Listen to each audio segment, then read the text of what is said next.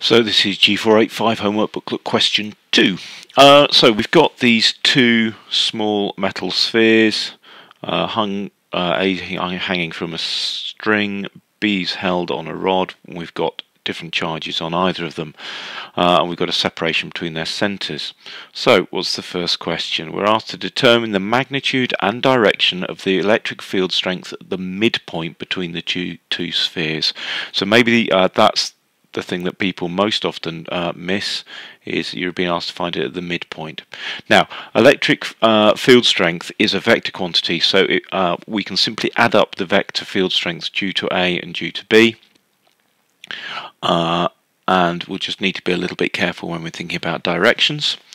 So we've got uh, spheres, point charges essentially, so we can think in terms of um, E equals Q there's Q for B, 4 pi epsilon naught r squared, r the distance away we're interested in. Uh, and so let's work it out for B. Why on earth did I do B before A? No idea. Uh, oh, because it's on the left. So there's EB, which refers to that one. So Q over 4 pi epsilon naught. And the position the distance away of the position we're interested in from the centre is 1.75 times 10 to the minus 2, halfway between the two. Uh, do that sum and we end up with that. And I think it's easiest just to think about the direction of that. It's a uh, electrical field strength. Uh, we're at this position here, so that's going to be uh, the field strength the vector direction of the field strength is the direction of positive charge would experience a force, which I hope obviously is towards the negatively charged B, so towards the left. I then do exactly the same thing for uh, A. So here's A, and you'll see it's the same format of equation. I end up with a different number, obviously.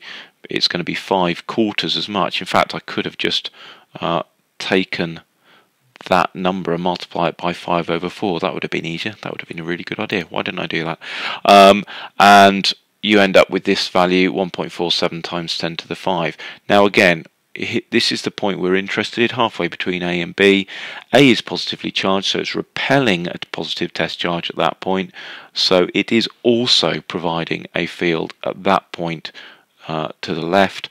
Therefore, though the magnitude is going to simply add, they're both pushing leftwards, and we end up with the electric field strength of those two numbers added together, 2.64 times 10 to the 5 newtons per coulomb, volts per meter would have been just as good, and the direction is to the left. Not a gentle start.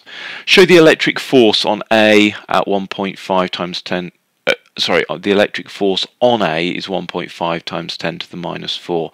So now we can consider uh, the force between these two just using the Coulomb law equation, uh, just using that data that we've been given, uh, and we lob it in to that equation. So F is QQ over 4 pi epsilon naught R squared. There's Q of B, there's Q of A, 4 pi, the value of epsilon naught, maybe I could have said earlier, from the uh, data sheet and the separation now is 3.5 times 10 to the minus 2 and we end up with 1.47 times 10 to the minus 4. It's a show question so I've been absolutely explicit in what I'm doing. I've made definitely want to make sure I get the equation. I want to do the substitutions and I'm going to give my answer to an additional significant figure so that they can see that I've really done it. Uh, and then moving on to part C. We're now given the mass of the sphere, um, 4.5 times 10 to the minus 5 kilograms, and crucially it tells us how they want us to do the question here. They want us to do this by resolving vectors, you know, uh, or by using a vector triangle to determine the angle theta made by the string uh, with the vertical. Now, there are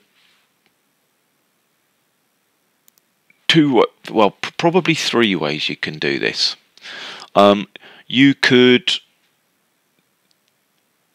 the most obvious way to resolve would be to resolve vertically, and you'd get W is equal to T uh, cos 30, from which I could work out, because I know what W is, I could work out what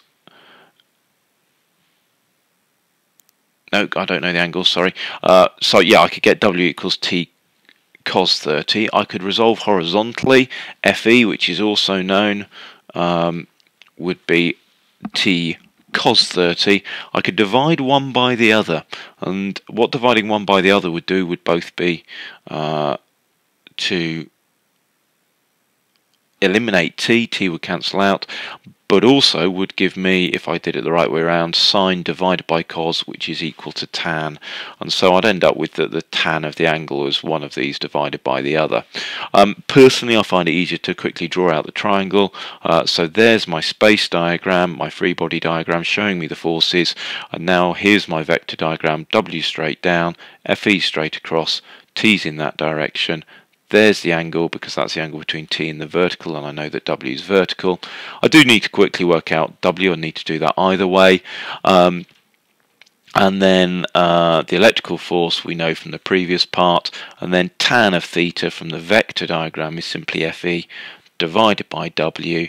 Fe divided by W, it's there, and do uh, an inverse tan and arc tan on that, and we end up with 18.8 degrees. Uh, so that's fairly straightforward.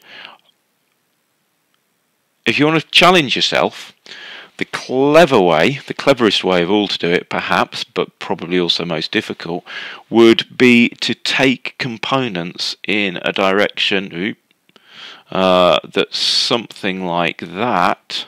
You'd need to think very carefully about where theta was, but if you could take components in that direction, uh, then obviously with t being perpendicular to it, t would never appear, and you could get probably pretty much to that statement uh, quite quickly. Again, we'd be relying on tan is sine over cos, uh, but that would be a neat little exercise to try out if you wanted to push yourself.